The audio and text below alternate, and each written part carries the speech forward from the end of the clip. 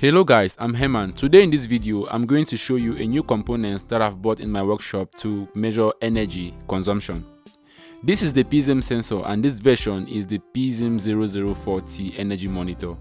This monitor can be used to measure voltage, power, current, energy, frequency and power factor.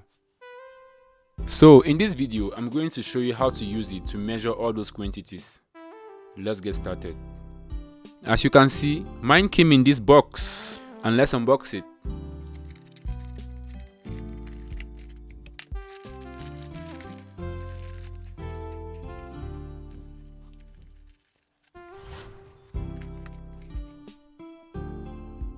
This device comes in two parts. We have the current measurement controller itself and the PZC2 module. This device can measure current up to 100 amperes and voltage up to 220 volts. So we're going to wire them together using this diagram. For that we're going to need an Arduino Uno and Dupont cables. Let's do the connection and come back. Okay, so to connect this to the Arduino, we're going to have to take note of these pin connectors here since we have two of them we have this one for the 5 volt we have the ground we have the transmit and we have the receive. All these pins are going to be connected to the arduino and here we have to this is the high voltage side where we connect our load and the mains power supply. Okay now that we have wired the circuit following the diagram that i just showed you we are going to test the circuit after uploading the code.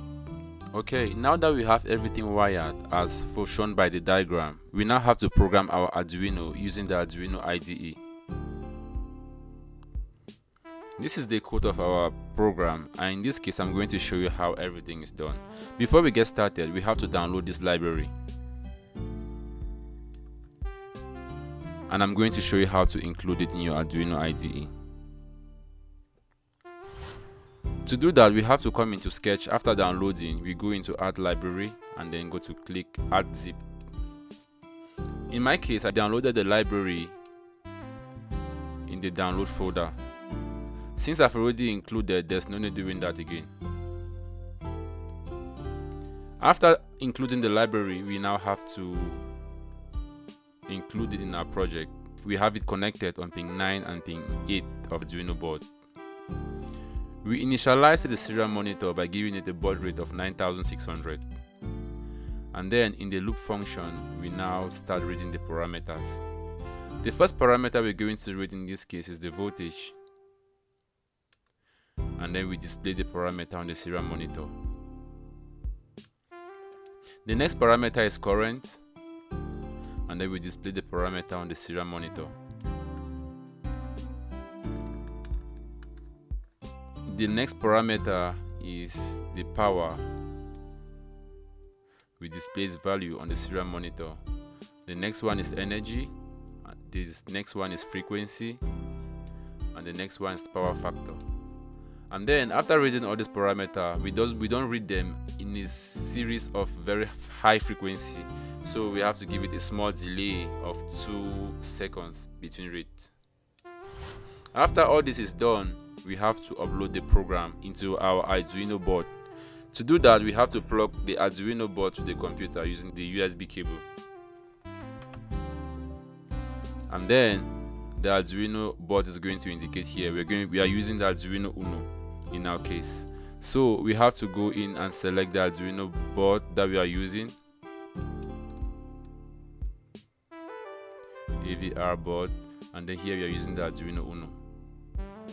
And then we select the port where the arduino is connected. In our case it's this com3 and then we come now and click upload.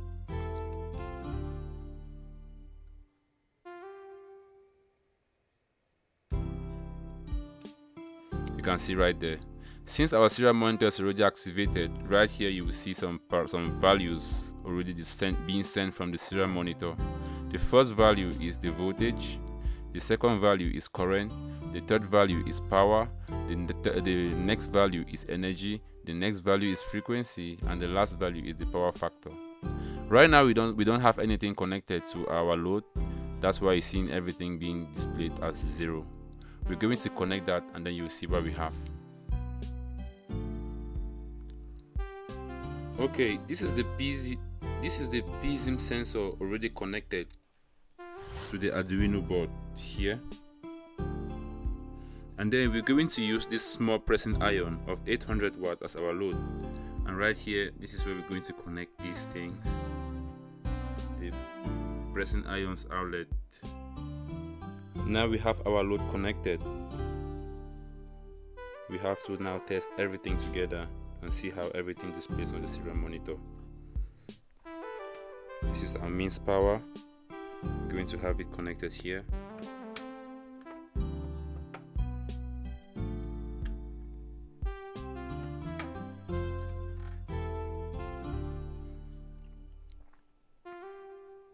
And now we can head on back to the computer and see how everything goes so you can see how the readings are now coming out right? We have the, our mains voltage as 191 volts we have current to be 2.5 amperes. We have the power giving us 4.74 we have the energy being displayed the frequency 50 hertz and the power factor equal to 1 i hope this makes everything clear.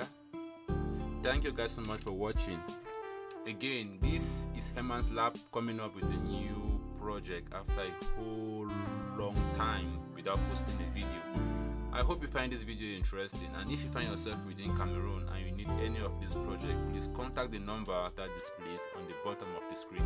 We have everything provided for you. We sell electronics components we sell modules we sell arduino we sell stm32s esp32 esp cameras have a whole lot of sensors that we can use that you can use to develop your final year project and a lot more. Thank you all so much for watching this video. I'll see you next time on the next one. Goodbye